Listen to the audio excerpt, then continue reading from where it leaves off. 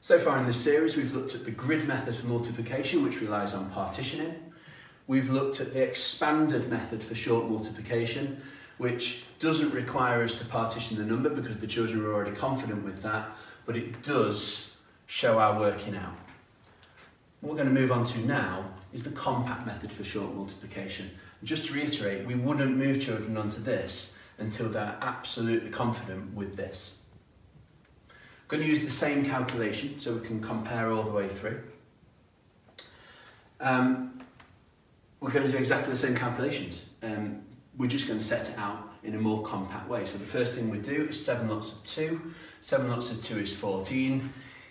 Instead of showing that as a 10 and 4 units, we're going to now carry over the 10 into the tens column and put our units in here.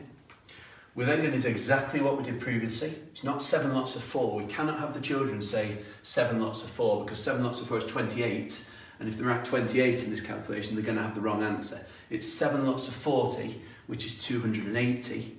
And then they've got this 10 that they've carried over. It's not a one. Because if it was a one, that would give us 281. It's seven lots of 40, which is 280, and a 10, which is 290. And again, with this carrying over, that is not a 2, it's a 200. It's a 2 in the hundreds column. So we do 7 lots of 300, which as we know from previous videos is 2,100. Add on the 200 would give us 2,300. So we've got 2,394, which is exactly what we had previously, but you can now see that we're much more compact in our setting out. So it's time for you to have a go. At this point you can pause the video and unpause the video when you've had a go at the calculation to see if you got the answer right.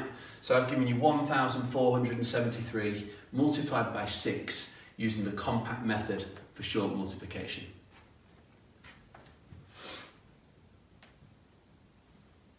Okay, so there's the answer, 8,838. Did you get it right? If not, you can go through and look at what I've done and see where you went wrong. So 6 lots of 3 is 18, that's a 110 and 8 units. 6 lots of 70 is 420. Add on that 10 that you carried over, gives you 430. 6 lots of 400 is 2,400. Add on that 400 that you carried over, gives you 2,800. And then 6 lots of 1,000 is 6,000 add on the 2,000 that you carried over, and that gives you 8,000. So if you've got any questions or comments about that method, you can email me. Uh, next up in this series is the expanded method for long multiplication.